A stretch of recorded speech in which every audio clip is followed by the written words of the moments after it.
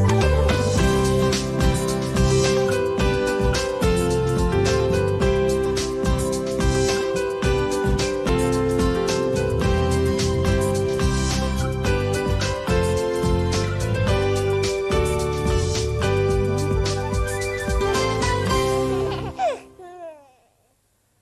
Megérkeztünk ide a kézműves helyszínünkre, mert hogy a jobb agyféltek és festésről fogunk beszélgetni a következő percekben. Szilvia, azért ezt mondjuk el, hogy te ösztönösen kezdtél el festeni. Úgy érezted, hogy ez is egy művészi önkifejezés számodra. Így van, 75-ben kezdtem el először, és egy olajkép volt életem első képe, és amit úgy kifundáltam, hogy mit szeretném, hogy az ábrázoljon, az sikerült. Még most is megvan édesanyámnál ez a kép, és utána pedig én magam kezdtem el egy saját módszerrel lassan megtanulni, mert azért ez nem olyan dolog, hogy az ember kitalál valamit, és az rögtön sikerül. Úgyhogy következetesen régi nagymesterek műveiből kezdtem tanítani, tanulni, először lemásolva természetesen. Na hát itt ül velünk Péter és Andrea, akik jobb agyféltek és rajzoktatók, Zsuzsa és Emma pedig a, mondhatjuk, hogy tehetséges tanítványok, ugye, akik középen ülnek. Ez nem hagyományos módszer a rajztanításban. Mennyi benne a tanulható, és mennyi benne az ösztönös? Ez a és módszertan alapvetően arról szól, hogy, hogy ez egy első lépcsőfok az alkotás felé, a realisztikus rajzolásról szól, tehát megtanuljuk azt a fajta látásmódot, amivel utána bármit le tudunk rajzolni, ami előttünk áll, és ez az egész abban különbözik nagyrészt a hagyományostól mondjuk, hogy, hogy itt nagyon tudatosan lépésekre bontjuk ezt a folyamatot, és ezáltal tanulhatóvá válik bárki számára. Nem kell különleges tehetség ahhoz, hogy ilyen szintig eljussunk. Andrea, mik ezek a lépések, ha egy-kettőt el tudsz mondani? Tehát hogyan jutunk el mondjuk egy műalkotásig?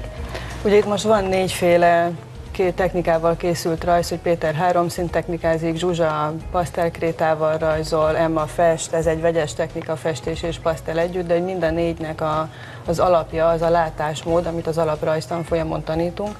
Van ebbe a rajztanfolyamban egy olyan ö, ö, szakkifejezés, hogy negatív tér, és igazából a, a, nem a rajzolás közben nem a, nem, a, nem a ceruzás rajzra kell koncentrálni, nem a vonalakra, hanem terekre negatív és pozitív terekre. Folyamatosan nézőpontokat kell váltani rajzolás közben. Hol negatív tereket figyelek, hol pozitív tereket figyelek, hol a vonalas rajzot figyelem. Tehát igazából nézőpontváltást tanítunk, és ennek a nézőpontváltásnak a, a a megtanulása után már fogják tudni a tanítványok azt, hogy mi az, amit figyelni kell, hogyan kell, hogyan kell lebontani lépésről lépésre, hogy egy csodás mű készüljön. Elmond, te miért kezdted el megtanulni ezt a módszert? Azért, mert nagyon szerettél rajzolni, és úgy gondoltad, hogy tehetséges is vagy a rajzban, vagy pontosan azért, mert mondjuk nem voltál annyira ügyes, mint például én is gyerekkoromban, és esetleg úgy gondoltad, hogy akkor ezáltal valamiféle művészetet te is tudsz majd adni? Hát én nagyon szeretek rajzolni, és jobban meg akartam tanulni rajzolni, hogy szebben tudjak.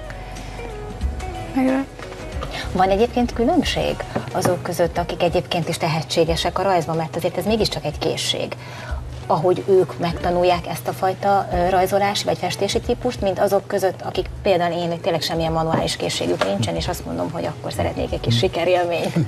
Erre azért nehéz egy picit válaszolni, mert nyilván hozzánk azok jönnek el, mi azokkal találkozunk, akik ugye nem tudnak rajzolni, legalábbis ezt gondolják magukról, vagy pácika ember színvonalon vannak, és akkor ebből szeretnének valamiféle rajzfejlődést elérni. Aki már ösztönösen tudja, ugye az már, az már inkább magától kezd el alkotni, az inkább a színes technikák problémákkal találkozunk.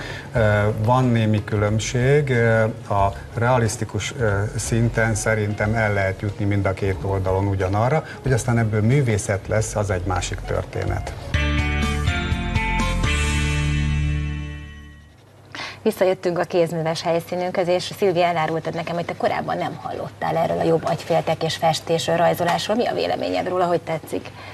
Nem hallottam róla, de én azt tudom, hogy nekünk sok titkunk van, amiről fogalmunk sincs, hogy hogy működik. Tehát biztos, hogy ez is egy csodálatos módszer. És most egy pillanatra visszautalnék arra, amit láttam, hogy Ságál kiállítás. Fantasztikus, hogy valaki amellett, hogy csodálatosan fest, ennyire tud azzal foglalkozni, hogy szabadon szárnyalni. És szerintem itt kapcsolódhat ehhez is.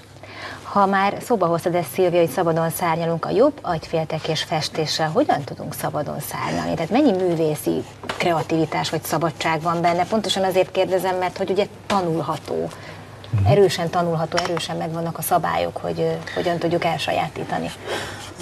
Igen, ehhez a szárnyaláshoz mi tulajdonképpen egy, egy lépcsőfokot tudunk biztosítani ezzel, hiszen ahhoz, nagyon sok embernek ahhoz, hogy, hogy ez a alkotó készsége ez beinduljon, és esetleg már olyan szinten tudjon festeni, eh, amit a művésznő itt említett, hogy ösztönösen megy, ahhoz viszont eh, kell ez a lépcsőfok, hogy megtanulják, ez egy alapozó tantárgynak is lehet tekinteni. Azzal, hogyha megtanulják ezt a látásmódot, megtanulják azt, hogy hogyan kell ezeket a formákat megrajzolni, megfesteni, akkor utána jöhet az, hogy ami mondjuk egy embernek a fejében van egy kép, nagyon sokan jönnek hozzánk így, hogy van a fejemben egy kép, és szeretném lefesteni, lerajzolni, de nem tudom, hogy kell, és ehhez adunk nekik egy segítséget, hogy ez, ehhez meg tudják Andrea, én döbbenettel hallottam, hogy Antonio Banderas én is le tudnám így rajzolni. Van. Mennyi idő kellene hozzá, hogy megtanuljam? Ö, Négy nap kellene, hogy megtanuljad rá, és a negyedik napon már ezt meg tudnád csinálni.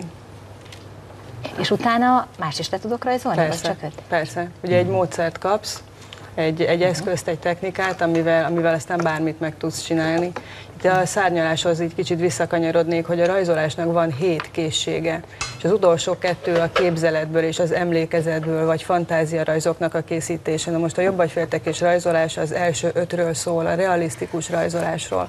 Tehát ez a művészi szárnyalás, az a utolsó két lépés, az az, amit megelőz a jobbagyféltekés rajzolás, vagy a festés. Ugye mi módszert, eszközöket, technikákat tanítunk, és az, hogy ebből majd mi fog kibontakozni, az már az egyénnek a Tehát lehet, hogy valamiféle művészi vénát mégiscsak megtalálunk magunkban, hogyha elsaj, megpróbáljuk ezt elsajátítani. Hát köszönjük szépen!